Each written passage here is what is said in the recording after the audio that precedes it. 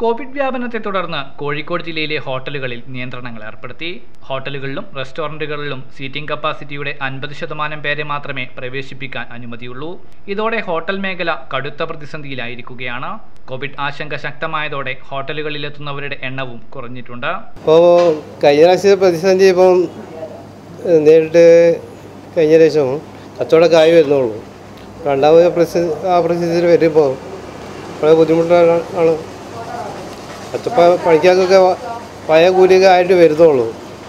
രണ്ടാവും ഇത് കച്ചവടം കുറഞ്ഞു കഴിഞ്ഞാൽ എല്ലാവർക്കും ബാധിക്കുന്നില്ലേ ഇപ്പോൾ രണ്ട് മൂന്ന് ദിവസമായിട്ട് പൊതുവെ മോശമായിട്ട് തുടങ്ങിയത് ആ നിയന്ത്രണം വന്നു കഴിഞ്ഞാൽ വീണ്ടും ബുദ്ധിമുട്ടാവും ഉണ്ടാവും. ആൾ തീരെ ഉണ്ടാവില്ല. പകുതി ആൾക്കാരൊക്കെ വെച്ചിട്ടാണ് തോന്നുന്നില്ല ആ പൈസ ആളെ വെച്ചിട്ടാണ്. ഇപ്പോൾ രണ്ടാമത് ആളൊക്കെ ആയി വരുന്നുള്ളൂ. പണിക്കാരൊക്കെ വന്നു തുടങ്ങി. അപ്പോഴത്തെ രണ്ടാമത് പ്രതിസന്ധി തുടങ്ങി കഴിഞ്ഞാൽ ബിസിനസ്സിനെ നല്ല ബാധിക്കും. കോവിഡ് കാലത്ത് കടുത്ത പ്രയാസത്തിലൂടെ കടന്നുപോയ ഹോട്ടൽ മേഖല ഏതാനും മാസങ്ങൾ മാത്രമേ ആയിട്ടുള്ളൂ തിരിച്ചു വരാൻ തുടങ്ങിയിട്ട്. അതിനിടെയാണ് വീണ്ടും നിയന്ത്രണങ്ങൾ. ലോക്ക്ഡൗൺ കഴിഞ്ഞ ശേഷം ലേശം കച്ചവടം ഒന്ന് പിടിച്ചു വന്നാണ് ഇപ്പൊ ലേശം മോശമാണ് കച്ചവടം. പ്രതിസന്ധിയിലേക്ക് പോകണം മാത്രമല്ല സാധാരണക്കാരന് ബുദ്ധിമുട്ടാവും. ഞങ്ങൾക്ക് ദിവസം വന്ന് പണിയെടുത്ത് ജീവിക്കുന്ന ആൾക്കാരാണ്. അപ്പോൾ അതിനൊരു ബുദ്ധിമുട്ടുണ്ടാവും. എല്ലാവർക്കും ബുദ്ധിമുട്ട് തന്നെ. എല്ലാവർക്കും ബാധിക്കും. സാധാരണക്കാരനെ കൂടുതൽ ബാധിക്കാം.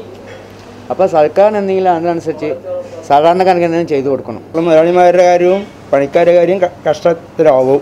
ഇപ്പോൾ ലേശം കൂടി വരുന്നേ ഉള്ളൂ. ഇനിയിപ്പോൾ ഞായറാഴ്ച മാത്രം ആക്കിയാലാണ് ഒരു സന്തോഷം. ലോക്ക്ഡൗൺ പൂർണമായിട്ട് ഞായറാഴ്ച ആക്കുക അതാണ് ഞങ്ങളെപ്പോലുള്ള പണിക്കാർക്ക് പറയാനുള്ളത്. പണിക്കാരായാലും മുതലാളിമാരായാലും ഒക്കെ ശരിയായി വരുന്നേ ഉള്ളൂ. ഇത് കഴിഞ്ഞിട്ട് ഞായറാഴ്ച ദിവസം ഫുള്ള് ലോക്ക്ഡൗൺ ആയാലും കുഴപ്പമില്ല. അത് ഞായറാഴ്ച ദിവസം തിരക്ക് കുറയ്ക്കുക. അതേ ഗവൺമെന്റ് ഏറ്റവും ചെയ്യാവുന്ന നല്ലൊരു കാര്യം. മറ്റുള്ള ദിവസങ്ങളിൽ ബുദ്ധിമുട്ടാണ്.